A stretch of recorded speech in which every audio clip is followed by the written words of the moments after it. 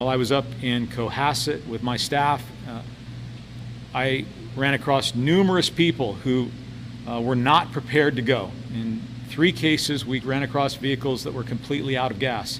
If you live in one of these areas, you need to understand that during this particular time of the year, we are under a very high threat of fire.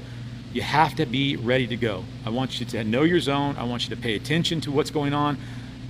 Listen to uh, the warnings that we put out heed those warnings, and if an order is given, get the most important things that you have and get out.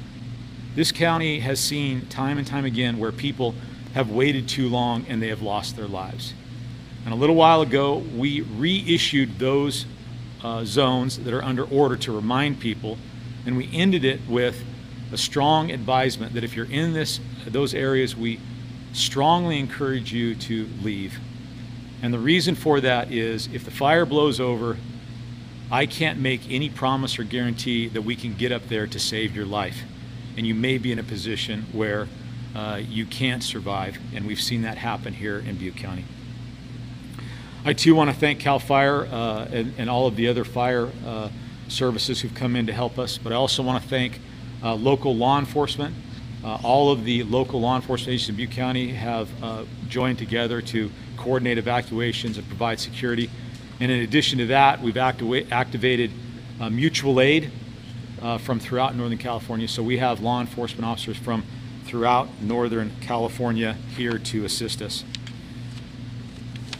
It is maddening that we're here again.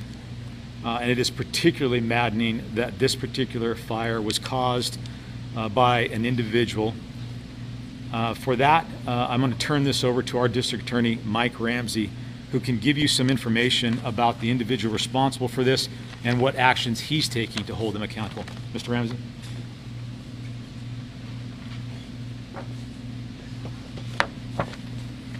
Thank you, Sheriff. I'm Mike Ramsey, Butte County District Attorney. And as the Sheriff has indicated, uh, we all in Butte County are very sorry to be in this position again. Uh, I myself in the Thompson fire was evacuated from East Oroville, so uh, this is something that is uh, very personal then, and my family was evacuated in the Camp Fire. 42-year-old uh, Chico man, Ronnie Stout, uh, was arrested at 2 a.m. last night by CAL FIRE arson investigators and district attorney investigators who surrounded his mobile home in a mobile home park here in Chico and uh, asked, uh, well, demanded by loudspeakers that he come out with his hands up. He did, and he was arrested at that time under a, an arrest warrant that my office had sought from a local judge, and it was what we call a no bail arrest warrant. That no bail means he is in Butte County Jail right now with no possibility of bail until such time as he is arraigned on Monday afternoon, uh, undoubtedly on a count of arson. What that count of arson will be and what enhancements to that is yet to be determined. Uh, we hope it will not be a enhancement of great bodily injury or death but it is still early in this fire to make that determination. Basically, the evidence that led us to uh, Mr. Stout uh, was a witness in the upper Bidwell Park near Alligator Hole, saw what was later to be identified as Mr. Stout was uh, by a vehicle, turned out to be his mother's vehicle, that witness saw a fire begin under the front left of Mr. Stout's vehicle and felt that his activity was somewhat strange and that he was doing nothing other than watching the fire. Uh, then she saw him get into the vehicle, do something in the vehicle, get out of the vehicle, and then push the flaming vehicle down the embankment, some 60 foot embankment down into a gully where the fire, the beginnings of the park fire, uh, flared up. And we are here today because of that.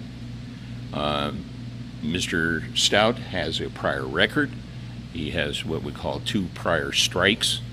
Those strikes, uh, one in Butte County in 2001, a conviction of lewd and lascivious acts with a child under 14, and another in 2002 in Kern County for robbery with great bodily injury.